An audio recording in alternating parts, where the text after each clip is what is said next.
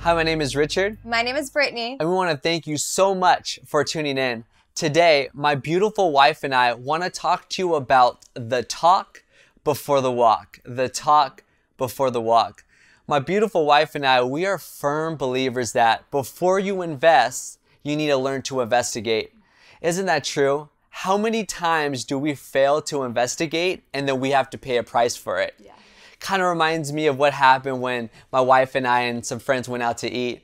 We went out to eat in San Diego, right on the beach, and we actually went for some nice tacos. They were actually having a special that day. $3 for a taco. They were really good tacos. Well, my wife and I, we ended up ordering filet mignon tacos. They were absolutely incredible. We were loving every single bite of those tacos. So we were having a good time fellowshipping with our friends. And then the waitress came at the end with our bill. And I look at the bill and I looked at it again and I noticed the bill was off and I told the waitress, if you don't mind, could you please come here? And she says, hey, what's going on? And I said, you made a slight problem with this bill. And she said, well, what do you mean? I said, this bill, this isn't ours bill. She goes, no, no, no, this is your bill. I said, no, no, this is not our bill. And she goes, well, what do you mean? I'm like, well, the tacos are three, it's three dollars for a taco, and all we did was order five tacos, and the bill's over sixty dollars for five tacos. That that's not our bill. And she goes, yeah, yeah, that's your bill. And I said, well, what's the problem here? She said, well, the problem is, is that yes, it's three dollars for the tacos, but in the bottom right-hand corner, in the fine print, you'll notice that filet mignon tacos, you have to add an extra five dollars. And I said, Oh, I get it. I didn't see that. She goes, Yeah, I'm sorry about that. So your tacos were like $8 with tax. And I said, Got it. Take my money. It's all yours. When we left that day, my wife and I were laughing because it was probably the most tacos we've ever spent, especially here in San Diego. 60 bucks for some tacos. They were really great. But what was the problem here? The problem was that my wife and I, we didn't read the fine print. We didn't go and ask questions. And you see, what happens to a lot of us, since we don't ask questions, since we don't have these conversations, we actually pay a price for it. This is the reason why my wife and I want to talk to you about the talk before the walk. And so we love what the Bible teaches us in 1 Corinthians 1:10. It says, "I appeal to you, brothers and sisters, in the name of our Lord Jesus Christ, that all of you agree with one another in what you say, and that there be no divisions among you, but that you be perfectly united in mind and in thought." Mm. So the scripture is teaching us about unity. And how do you have unity? You have unity when the two of you are in agreement. And when you're in disagreement, then what you're going to have is disunity. And I love that Jesus teaches us that when two agree on earth on anything, that it will be done for us by our Father in heaven. Mm. And so if you want to have the favor of God in your marriage and you want blessing overflow, then it's important that you two agree uh, that you agree on things in your marriage. And so today we want to talk to you about five different talks that you should have before the walk. Now, some of these talks are going to be a little bit more difficult than others, and we don't suggest that you have these talks two weeks into dating. Some of them, you know, you might want to wait until you're really serious in your relationship and talking about getting engaged, or maybe you're already engaged. And if you are, then we highly encourage you to have all of these talks. So, the first talk that we want to talk to you about today is the non negotiable talk. You guys, non negotiables are so important. When you're single, you should have already your non negotiables in mind. For instance, when I was single, I knew that I wasn't going to date anybody who wasn't a man of God and who sought Him daily. And so I had my non negotiables as a single woman. Then, getting into a relationship, my husband and I had non negotiables that, you know, we were going to be pure and honor God with our bodies, that we weren't going to have sex before marriage. You know, I love what the scripture teaches us in 1 Corinthians 10 23. It says, You say, I'm allowed to do anything, but not everything is good for you. You say, I'm allowed to do anything, but not everything is beneficial. Mm. And this is why it's important to set non-negotiables because the reality is is that when you're in a relationship, you can do whatever you want, yeah. but not everything is good for you. And so if you don't set non-negotiables, then what are you doing? You're setting yourself up for failure. You see what non-negotiables are? Are they your, they're your boundaries. It's the line that you draw in the sand that you will not cross under any circumstance. And that's why it's super important that you set your non-negotiables when you're you're in a relationship. So when Britt and I, we came together, that was one big conversation we had, the non-negotiable talk. One non-negotiable for us is that every day we would seek the Lord. You know, Matthew 6.33 teaches us, it says, first seek the kingdom of God and his righteousness. The scripture doesn't say first seek Britt and then go on with your day. It doesn't say first seek your job. No, it says first seek God. Here's what we understand. When we learn to first seek God in our everyday basis of our life, we know that our relationship will be prosperous. Therefore, that is a non negotiable for us. Another non negotiable that we have is that every Sunday we would make it to church. And we really are strong believers in that because we believe that we should be in the presence of God. We believe that we should be amongst uh, certain people. Why? Because fellowship is great, especially getting into the house of God, worshiping, praying, receiving from our pastors. We're firm believers of this. This is just some non negotiables we have, but you may have different non negotiables with your partner. You see, if you don't have non negotiables, what happens in your life is you cross lines. Mm-hmm. And the truth is is that you'll always cross a line when a line isn't drawn.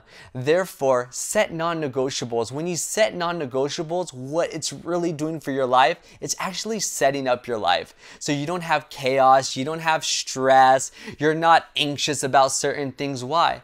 Because you came together and had the non-negotiable talk. We really encourage you when you have the non-negotiable talk, you're setting your relationship relationship up for it to be prosperous and for it to be healthy. So we really encourage it, have the non-negotiable talk. And the second talk that you need to have before the walk is the vision talk. You know, Proverbs 29 18 says that where there is no vision, the people perish. Now, in the same way, where there is no vision, your relationship will perish. You guys, you wouldn't jump onto an airplane with no final destination in mind. That would be crazy because you'd be flying around in circles and eventually you're gonna run out of gas and you're gonna crash. Now, the same is true for your relationship and for your future marriage. If you don't have a final destination, then you guys are gonna be spinning your wheels, mm. going nowhere, and eventually you're just gonna run out of gas, you're gonna run out of energy, and you're gonna crash. Mm. And that's why it's so important important that you have a vision for your marriage because what your vision does is it gives you drive. It gives you something to fight for. It keeps your relationship fresh. It keeps it on fire. It keeps it exciting. Um, we get asked the question a lot that, you know, what do we do if we don't have the same vision? Well, that's okay. You don't necessarily have to have the same exact vision. Maybe one of you is called to be a doctor, and maybe another one of you is called to just be an at home mom or whatever it may be for your future marriage, you just have to agree to come together and support one another's vision. So you don't necessarily have to have the same vision, but you have to agree to support one another's vision. With my wife and I, at the beginning of every year, we talk about our vision. And what we do is we write out a dream board. And our dream board, we talk about, you know, things that we want to achieve this year, certain goals that we want to hit. And from there, we come into agreement.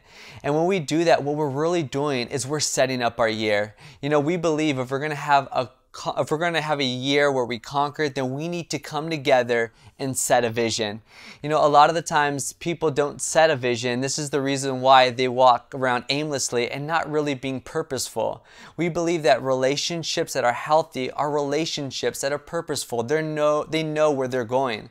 You see, with my wife and I, we always want to support each other. So when we bring the vision in mind, the next thing that we do is we make sure that every decision goes along with our vision. So if the decision doesn't go along with our vision, then we won't make that decision. Why? because it doesn't help us to get to the goal that we're trying to achieve.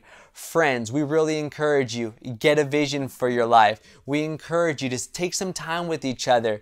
Go out, have a coffee, go, go get a tea, do something, talk with each other, talk about each other's vision, and from there, make sure that every decision aligns with that vision. The third talk is the credit talk. Yes, the credit talk. You know, the Bible teaches us in Hebrews chapter 12, verse 1, it reads, Therefore, since we are surrounded by such a great cloud of witnesses, let us throw off everything that hinders and the sin that so easily entangles us, and let us run with perseverance the race marked out for us. I love this passage because it teaches us to run with perseverance. The truth is, it's going to be hard for us to run with perseverance when we're running with debt. This is the reason why we have to have the credit talk because statistics teach us that most marriages end up in divorce because of finances. You see, when it comes to God, God is looking at character. But when it comes to the world, the world cares about credit. Yeah credit matters.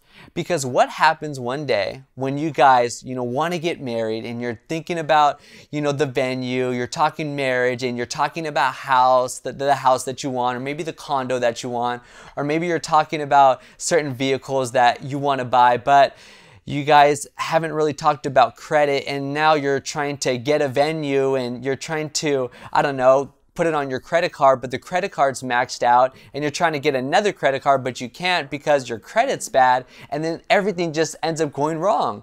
And then you're talking about, you know, your house, but the truth is, is that if you have bad credit, it's going to be hard for you to get a loan. See, the truth is, this conversation is big because this conversation could affect your future. It could affect what you're trying to do. That's why it's important to have the credit talk.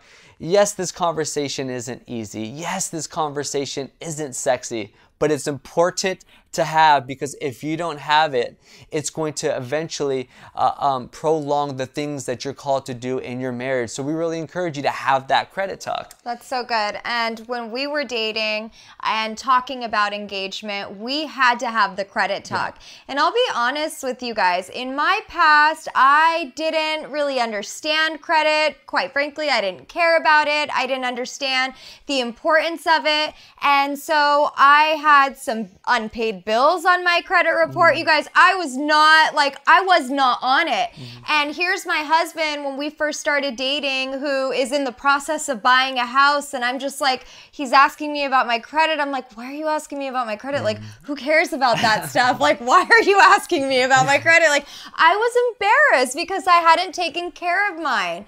And so I, I got really convicted by God. And God's like, hey, you can't just keep things in the dark. You have to bring things to the light. Mm-hmm. And so I started doing some research and I started figuring out where I could get a credit report. And I found a free credit report online and I printed it out. And I was I was like pleasantly surprised because it wasn't nearly as bad as I thought. I was like a couple thousand dollars in debt. So I was like, thank you. Like that's not that big of a mm-hmm. deal. And so I brought in my credit report and I was honest with him. I said, you know, I, I've only had one little minor credit card mm-hmm. in my life. I I didn't really manage my credit that well, but this is what I'm gonna be bringing to the table in our marriage. And, you know, I started being proactive about paying things off. I hadn't even paid taxes in seven years. So before we got married, I made sure to pay all my taxes off. Mm-hmm. You see, so credit isn't necessarily a deal breaker mm-hmm. in getting into marriage, but it is a deal breaker if the person is unwilling to start taking yeah. care of mm-hmm. things. See, if I would have came to him with unpaid taxes and a really bad credit report and said, yeah, but I'm not really going to do anything about it, that's a deal breaker because it shows that I have bad character. But see, if the person is willing to step mm-hmm. forward and start making steps to clear their bad credit or to pay unpaid debt, then you know that you have a keeper because you have somebody who's willing to fight for things in life. Uh, they're willing to, you know, make their wrongs right. And so this is why it's so important to have this credit talk before you get into marriage so you know what you're bringing into the table. The fourth talk that you need to have before the walk is the kid talk. Psalm 127 3 teaches us that children are a gift from the Lord, they are a reward from Him. You see, children are a reward from the Lord because what they are is the gift of life. Mm. But what happens when the gift of life actually becomes the curse of death?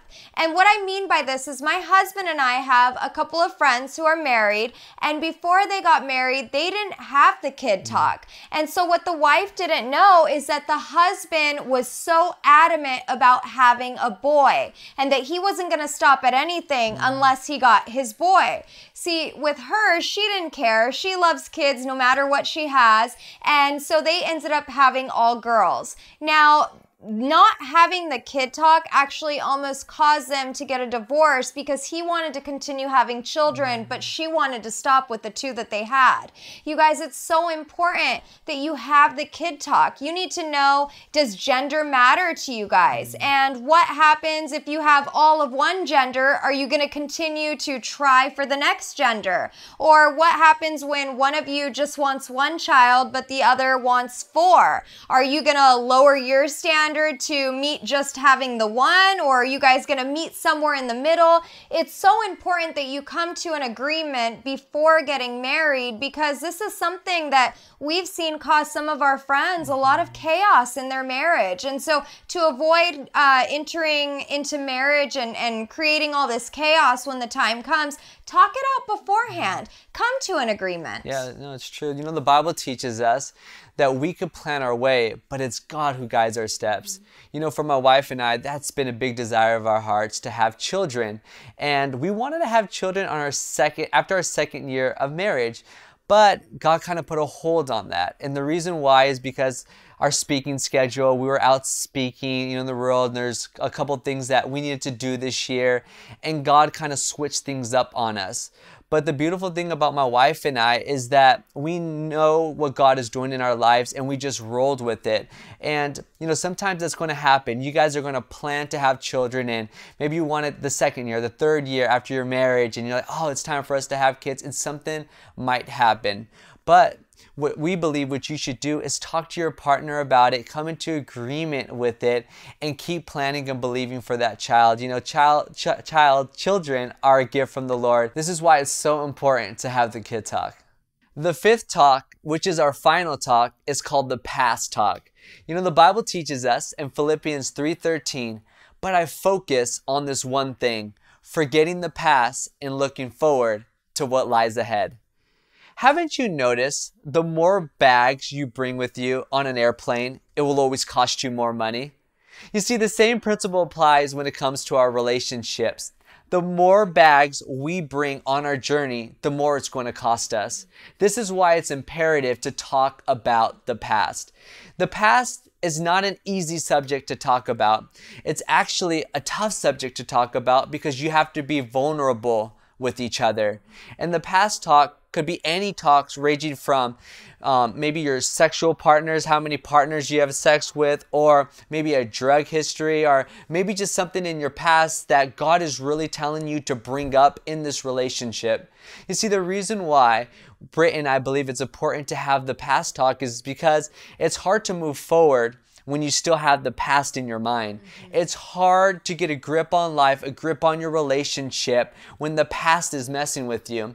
You see, what Britt and I did in our relationship is we had a past talk. And the reason for it is because we didn't want the enemy to have anything on us. Mm-hmm. And here's what we mean by that. You know, sometimes what the enemy can do is he could start telling you and reminding you about your past and certain things. And, you know, the, the enemy will start saying, like, oh, well, your partner doesn't know about this, or what happens when he finds out about that? Mm-hmm. You, know, you didn't tell him these things. So what happens is, is he starts putting you in a position where you end up not being vulnerable, where you're not transparent and you're not open. Mm-hmm and whatever you don't talk about, you don't get free from. You know, there's an old saying that goes, You're only as sick as your secrets. We believe that when you open up your secrets, when you have these type of conversation, it brings healing into your relationship. You know, what Britt and I do is we make sure that we never allow the enemy to have bullets in his gun. Yeah. The way that we do that is we actually take the bullets out by talking about our past, by talking about certain things that will help our relationship to prosper. So good. And one of uh, the the past talk, it wasn't an easy talk, Yeah. especially for myself, because for those of you who don't know, I was in the adult film industry for seven years of my mm-hmm. life. I didn't know Jesus growing up. I was a wild child. I was crazy without Jesus.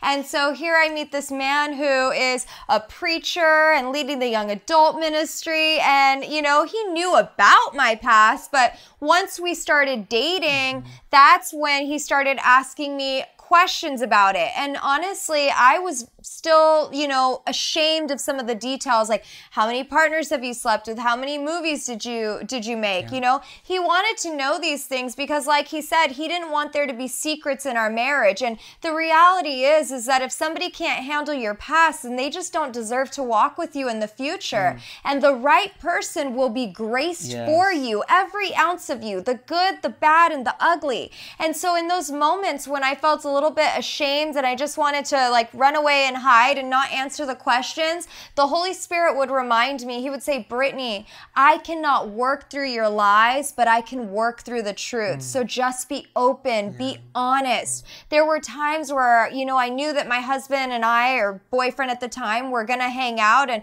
so I would be on my knees praying, God, please grace him for whatever conversation might come up, for whatever question he might have. Like, give him the grace to handle this because I really love this man. And if he's for me, God, then you'll grace him for me. Mm. And that's exactly what God did. God answered my prayers. But, you know, the past talk, if you have a dark past or maybe you feel a little bit uncomfortable talking about it, you know, there's a time and a season to talk about it. This is what I was talking about with you in the beginning is that you don't have to have this conversation two weeks into dating. You can mm. set your boundary and say, hey, I don't feel comfortable talking about this right now, but as time progresses and we get a little bit more serious, mm-hmm. then we can have that conversation. So make sure that you're in prayer and that you're spirit led, but also don't hide anything when the mm-hmm. time comes and the spirit leads you to begin to have the past talk. Be open and be honest. Don't fear losing the person. Mm. You know, my father in law always says that if you're afraid to lose them, then you shouldn't even have them mm. because then what that person becomes is an idol in your life.